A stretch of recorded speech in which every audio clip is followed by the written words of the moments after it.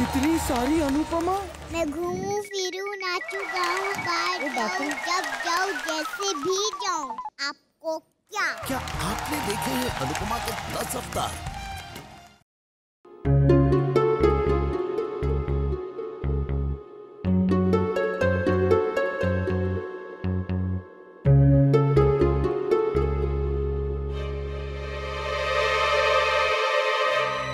उमंग। माँ dining table पे बैठकर कुछ फ़ोन कॉल्स लगा रही हैं। अब मेरी बात ध्यान से सुनो। मैं अपना फ़ोन ले जाकर उनके फ़ोन के पास रख दूँगी। और तुम ठीक पाँच मिनट बाद फ़ोन करना। और वही सब कहना जो हमने डिस्कस किया था। ओके।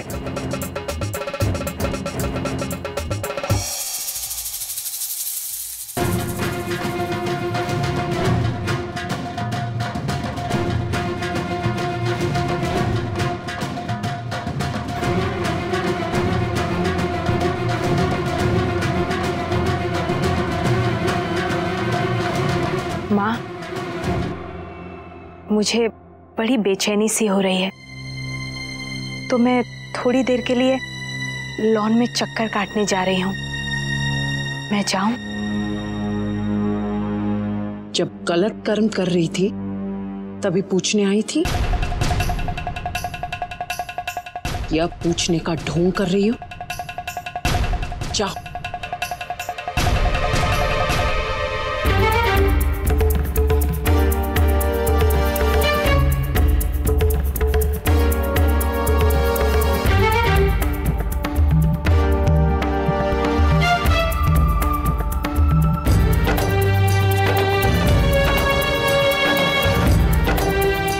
बस माँ फ़ोन उठा ले तो सारा मामला साफ़ हो जाएगा।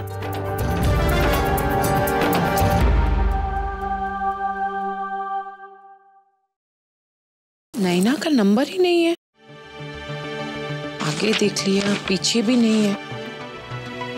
अरे हाँ वो मेरी पुरानी डायरी में होगा। मैं अभी मंगवाती हूँ।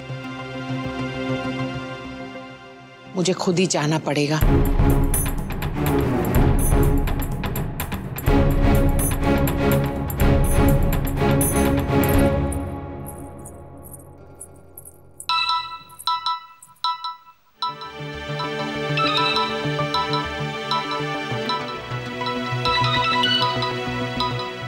ये किसका फ़ोन है?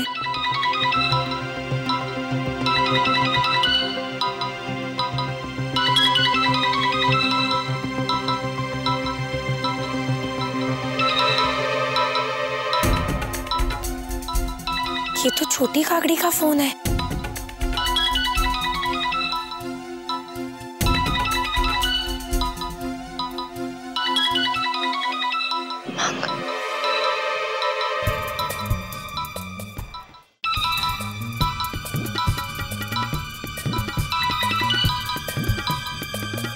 किंजल ऐसा नहीं हो सकता है। मैं अपने बच्चे को इलेश का नाम नहीं दे सकता।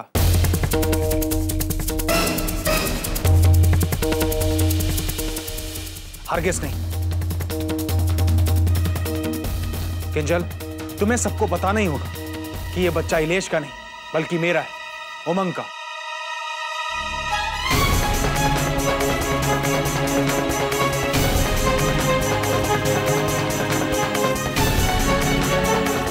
हेलो किंचल तुम सुन रही हो ना? हेलो हेलो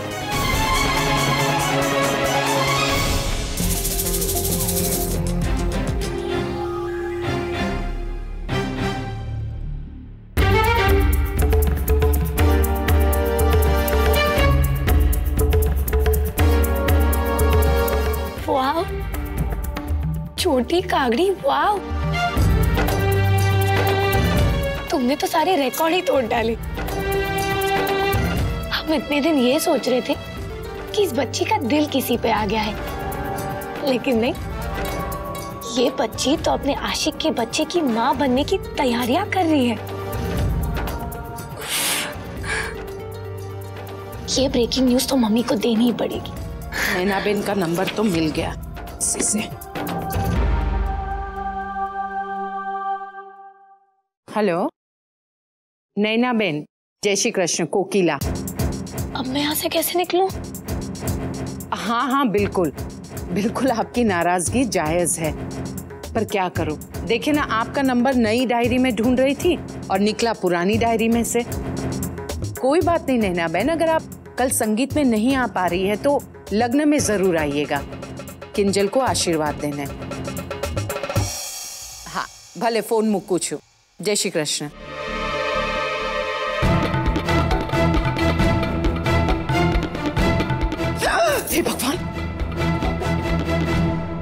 जी आप? राशि तुम? यहाँ? ओ तो अब दूसरों की बातें सुनने के लिए टेबल के नीचे घुसा जा रहा है। कि मोदी परिवार की बहू होकर तुम्हें ऐसी हरकत करते हुए शर्म नहीं आती है? नहीं काकी जी आप गलत समझ रही तो टेबल के नीचे घुसकर क्या कर रही थी? वो वो मेरे कान के बूंदों का पेज गिर गया था तो वही ढूंढ रही थी।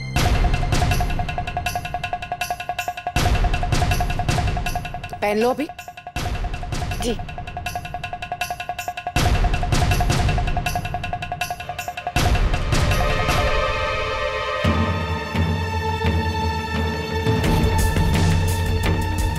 आज की ताज़ा खबर।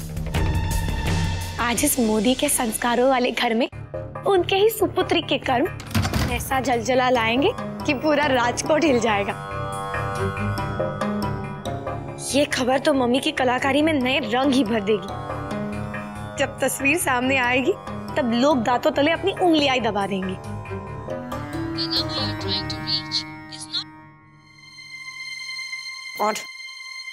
मम्मी का फ़ोन क्यों नहीं लग रहा है?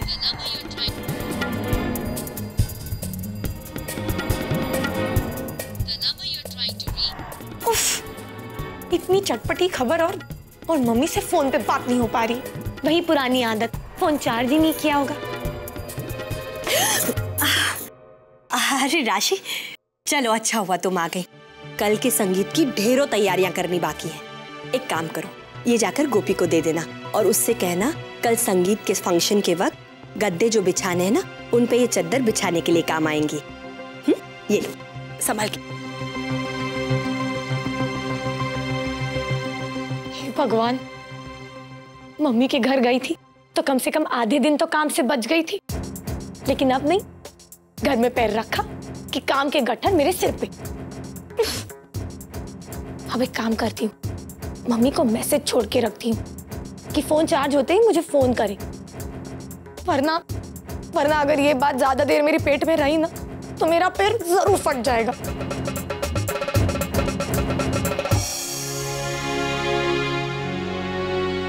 जय श्री कृष्ण भाभी जी। अब जय श्री कृष्ण। मामे टेंट से गद्दे लेकर आए हैं। कहाँ रखवाने हैं? ठीक उस तरफ़ रख दीजिए। जी। मणि लोई पिड़ीनी डोबी डफोट जल्दी आ जी नानी भाभी। तुम्हें बताया था ना संगीत के लिए टेंट हाउस से गद्दे आने वाले हैं? हाँ। हाँ तो वो गद्दे आ गए हैं। तुम जाके उन्हें बता दो कि वो गद्दे कहाँ रखने अने हाँ कल सुबह तुम और गोपी बहू दोनों मिलकर गद्दे लगवा भी देना। जी। और सुनो रसोड़े की सफ़ाई कर दी तुमने। नहीं नानी भाभी। नहीं मतलब? मतलब ना रसोड़ा साफ़ हुआ है और ना ही वहाँ कुछ खाना पीना बन सकता है। अब आने वाले मेहमानों को चाय तक नसीब नहीं होगी। तुम तो यही चाहती हो ना कि आने वाले मेहमानों को मैं आने से मना कर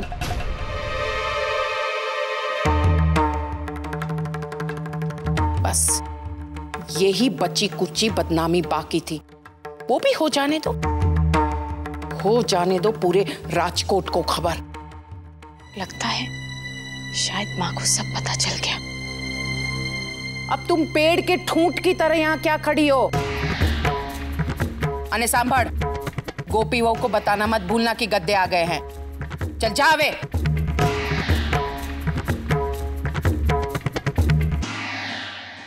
माँ बहुत बेचैनी हो रही थी ना तुम्हें? टहल कर आ गई? अब मन हल्का हो गया? हाँ माँ वो किला तुमने मुझे बताया नहीं कि किंजल की किन किन सहेलियों को शादी के लिए बुलाना है। चलो अरे ये यही है। बोल दिकरा तेरी कौन कौन सी सहेलियों को निमंत्रण भेजने मुझे नाम बता दे मैं लिख लेती हूँ। किसी को भी नहीं।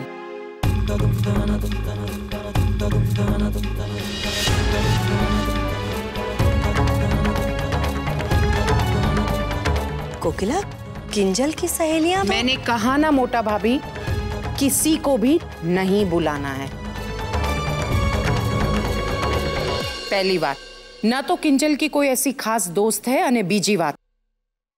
अगर दोस्त है भी तो दोस्ती के लायक नहीं है। दोस्ती के नाम पे कोकिला जेवी तारी मर्ज़ी मैं वहाँ का काम देख लेती हूँ। उमंग के फ़ोन से माँ सब कुछ जान गई है। इसलिए तो कम से कम मेहमानों को बुलाना चाहती हैं। इधर आओ। इधर आओ किंजल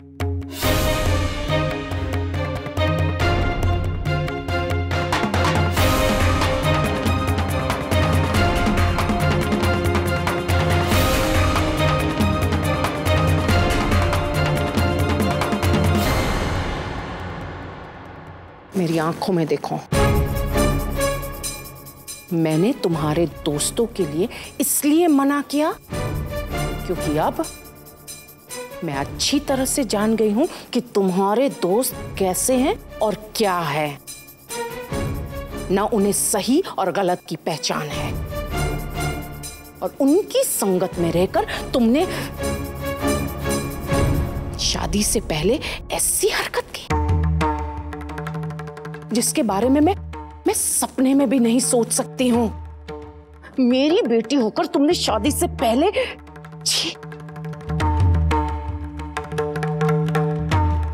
न तो मैं तुम्हें बधाई दे सकती हूँ और ना ही तुम्हें मेरा आशीर्वाद मिलेगा।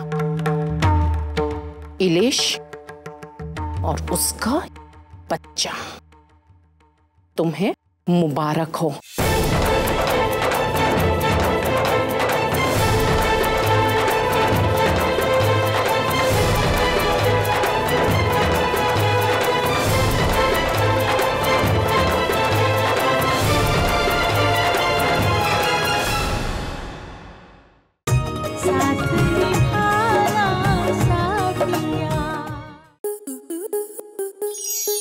आपके मनोरंजन पर अब नहीं लगेगा कोई ब्रेक स्टार प्लस के बेहतरीन शोज़ देखने के लिए लाइक शेयर और सब्सक्राइब करें स्टार प्लस यूट्यूब पेज को.